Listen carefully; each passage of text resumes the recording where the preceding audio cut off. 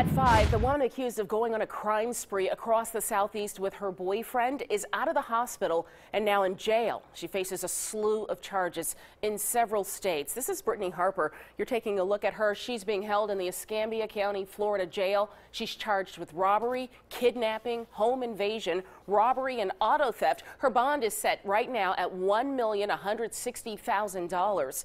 As we mentioned, Harper faces charges in other states, including Alabama. In Tuscaloosa, She's charged with robbery, kidnapping, and theft of property after allegedly abducting a clerk from this microtel in Tuscaloosa. She also faces kidnapping and theft of property charges in Vestavia Hills for allegedly taking a woman from her home in that area. Harper could face even more charges in Florida and Georgia. Right now, she's accused of going on that multi-state crime spree with her boyfriend, Blake Fitzgerald. You may recall he was killed Friday in a shootout with police in Pensacola. A lot of sad stories over the weekend.